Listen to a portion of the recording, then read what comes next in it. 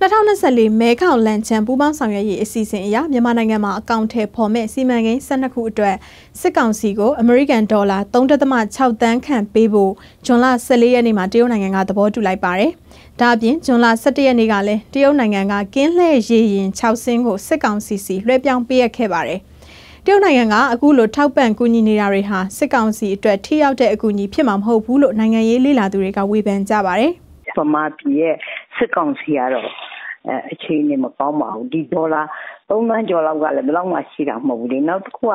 ဒါမျိုးတွေကပေးတယ်ဆိုတာလေ तू ကစီမံကိန်းနဲ့ပေးတာဗျငွေသားကြီးပေးတာဟုတ်ချင်မှလည်းဟုတ်မယ်အဲစီမံကိန်းကို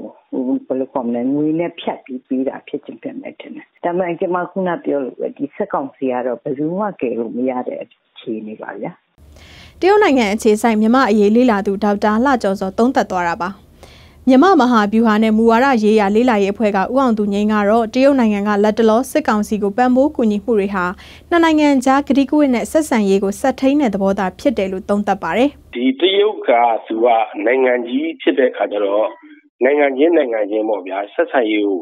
အလေးထားတဲ့သဘောတွေ့ရတယ်။ဆိုတော့အဲ့လိုအနေထားမှာကျတော့ခုနလန်ချမ်းမဲခေါင်ကကျတော့သူ့ရဲ့ဒါကိုပြောပြောမှဆိုလို့ရှိရင်အစီအမံကြီးပေါ့ဗျာအဲ့ရဲ့အောက်မှာမှာဘာခေါ် မလဲမြန်မာနိုင်ငံရဖို့ထောက်ပံ့ကူညီမှုပေးတာပေါ့နော်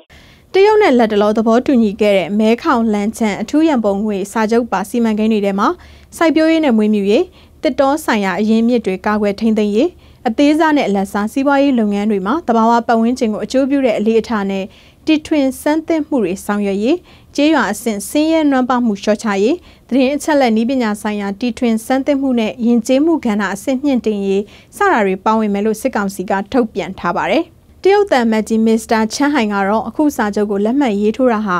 ၄ချိန်မြောက်လန်ချမ်းမဲခေါင်ပူးပေါင်းဆောင်ရွက်မှုသဘောတူညီချက်တွေကိုအကောင့်ထဲပေါ်တဲ့အရေးကြီးတဲ့လှုပ်ဆောင်ချက်လို့ပြောခဲ့ပါတယ်။အမျိုးသားညီညွတ်ရေးအစိုးရ NUG ရဲ့တမရာယုံပြောခွင့်ရဦးကျော်စောကတော့ တရုတ်နိုင်ငံကပေးတဲ့အကူအညီတွေနဲ့စစ်ကောင်စီကတရားဝင်အစိုးရဖြစ်ရေးကြိုးပမ်းဖို့အတွက်ပဲတုံးချလိုက်မယ်လို့ဝေဖန်ပါတယ်။ကျွန်တော်ပြောချင်တာကတော့ဒီလိုပေးတဲ့ဟာ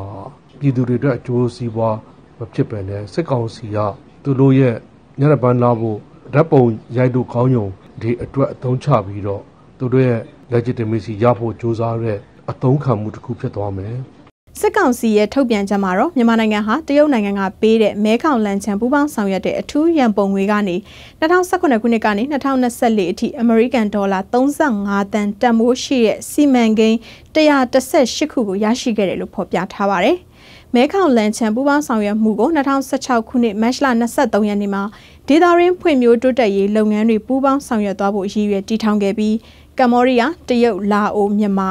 ထိုင်းနဲ့ဗီယက်နမ်အဖွဲ့ဝင်6နိုင်ငံပါဝင်ပါတယ်ရှင်။